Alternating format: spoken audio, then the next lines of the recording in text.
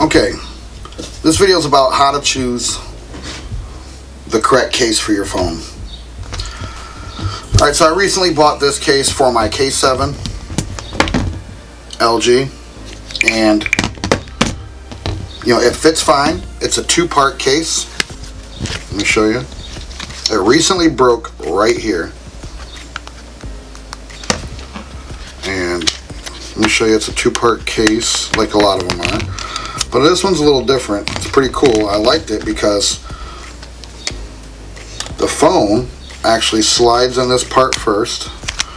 Pretty easy. And then snaps into this part. Well, it recently broke and through me evaluating the different cases I've ever had, you know they have the rubber ones, rubber cases. Um, this is a hard plastic with a little bit of rubber on it. Okay, but majority of it's hard plastic. Um, if this had been a gel one, this wouldn't have happened. It did, however, save my phone. My phone is not broken. The case, who cares, is. You know, these are seven bucks. You know, these are, you know, hundred. For this one's like 150, but yeah.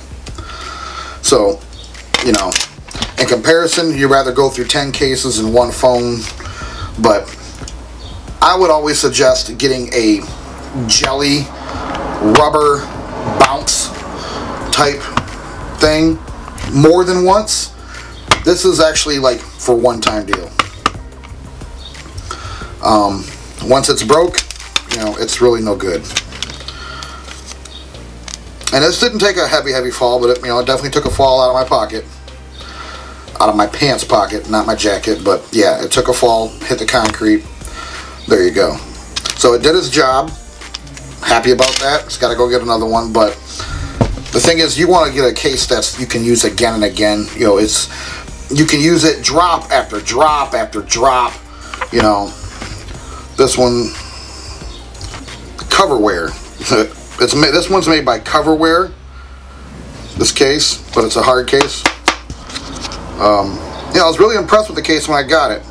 Another thing was is the charging port. I had to cut out the charging port uh, flap for it because when you open the flap and go to put the charger in, it was actually pressing against the cord and it broke the cord. It actually, the rubber piece was so strong it actually broke the cord. This one's still here as you see. It was just that basically.